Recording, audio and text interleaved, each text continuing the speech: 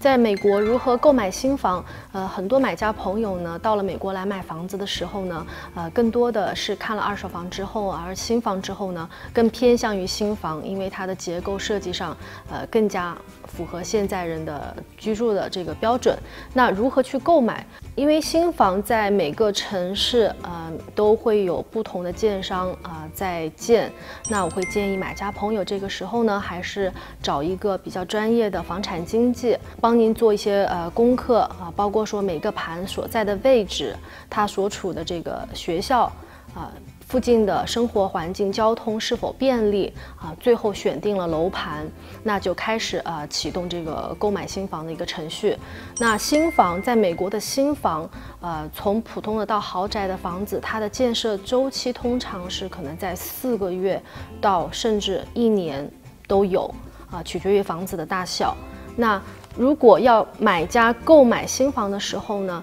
第一个啊。建商通常他放出的房子呢是一期期放来的，呃，买家通常呢先每个楼盘啊，建商都会有建呃几个样板房。首先，买家呢会去样板房挑选自己喜欢的户型，选定之后啊，比如说我们喜欢一号户型的房子，那再去销售中心啊去了解。啊，现在一号户型是否已经有建好的现房，或者是说它有期房，将来是在哪一块空地会开，大概多久交房？啊，这个时候当你选好的时候呢，呃，第二件事就需要是呃排队。排队的话呢，通常建商会希望呃要知道买家他是现金买还是贷款买。啊，如果是现金买的话呢，他要提供这个资金证明。钱啊，现在比如说已经在美国的银行了，还是说钱现在是在海外啊？需要给建商啊了解。那如果是贷款的话呢？呃，建商通常他们希望是买家呃低供提供你的首付资金，首付资金他们希望通常是能够已经在美国了。第二个就是您贷款用的银行，那这个时候呢，要请银行啊根据您的条件帮你出啊贷款的预批信给建商看。当这些您提供给呃建商之后呢，啊，可以先上建商的这个呃 VIP 的这个清单，可以进行排队。通常建商要放盘的时候呢，会大约提前几天到一个星期不等，告诉买家。那买家这个时候呢，呃，就去指定的时间啊去排队。如果排到您的时候呢，呃，这个房子我们接下来呃就去交一个定金。每一个建商他对这个定金的要求不太一样。那同时呢，啊会要进行签一个购房合同。签好之后呢，然后就接下来做的就是啊对房子进行呃一些升级。那在美国的话，建商升级通常是分三个档次：结构升级。电力升级和最后的室内的软装升级，那结构升级像啊一些这个加阳台，有些房子需要加阳台啊，或者需要加这个中式厨房，这个是包含在结构升级里面。电力升级呢，通常包含像室内的呃各个房间的这个射灯、屋顶的天花板的射呃射灯升级，还有预留的电路啊插头等。第三个升级呢，就是房屋室内的一些软装修的升级，比如说像橱柜想升级的话，还有厨房的一些台面，啊，浴室里面的这个台面的升级，啊，还有包括说墙漆，还有木地板或者是装地毯这一类型的升级。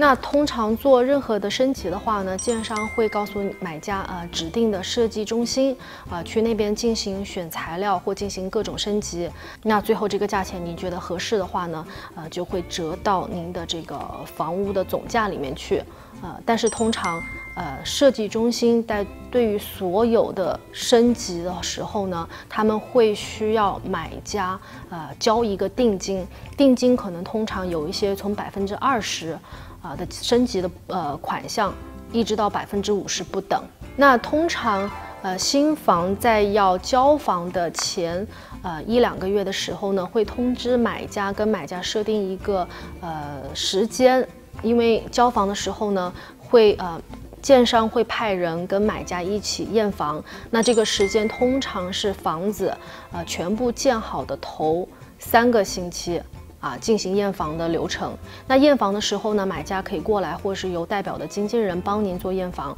通常验房的流程呢分几步，第一个就是室内的，室内的话呢，通常我们从电器开始，厨房啊，厨房的电器是否都能够用。第二个的话呢，就是对整个室内的像墙漆。窗户、纱窗是否都有安装好，或者是对这个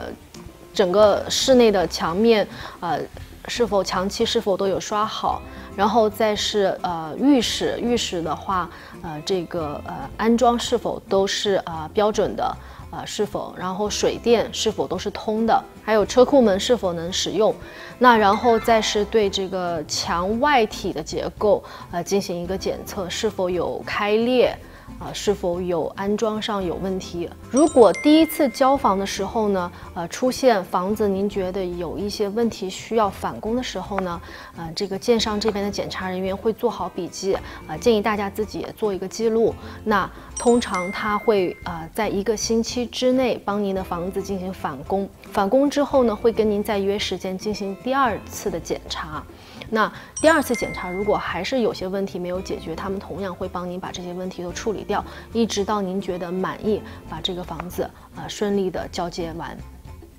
那即使是交接完之后，很多朋友也会担心说，是不是房子交接完，建商就不会再管你的房子？也不会啊。如果很多呃买家他住进这个新房之后，还是发现房子有一些当初没有检查出来的问题时候呢，一样可以和啊这个建商啊交涉去呃沟通，建商还是会派呃专业的人士回来进行维修。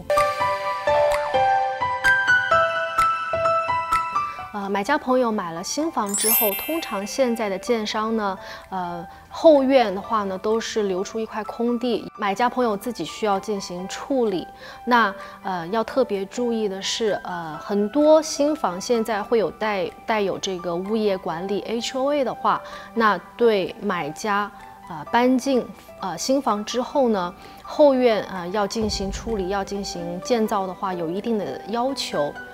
通常买下房子之后，呃，买家朋友特别要注意，要咨询一下啊，建商啊，因为每一个建商、每一个物业呃管理是不同的，它的那个规定也不一样。通常如果呃房子没有在物业管理指定的时间把后院做好的话，通常一开始物业会对这个屋主进行警告。啊，包括一些小额的罚款，可能是从一百、两百不等。那如果屋主这时候置之不理的话，那物业会加大对这个屋主的一些罚款，可能从几百到上千不等。那如果到最后屋主还是不理的话，物业管理可以有权利进行对你的房子进行法拍。呃，这个屋主如何开始做后院呢？通常屋主首先第一个要找一个有执照的承包商。啊，最好建议啊，买家朋友呢会找就是自己社区附近，呃，比较熟悉，已经在这个社区有做过其他后院的有执照的承包商，呃，来请他们估价，然后再接下来就是画图。画图的时候呢，承包商呃比较有经验，在这一区社区做过的，他们通常会知道说物业管理呃的一些对后院的基本要求。每个物业呃社区有不同的要求，比如说该如何建造后院啊，用什么样的材料，包括说一些植物、一些花草啊树啊，该只能用哪一些，他们都有规定。那画好图的时候呢，呃，最后决定好之后就送到这个物业 HOA 去进行报批。报批完之后，呃，那承包商就可以开始启动后院的呃建造工程了。那通常后院全部施工完毕之后呢，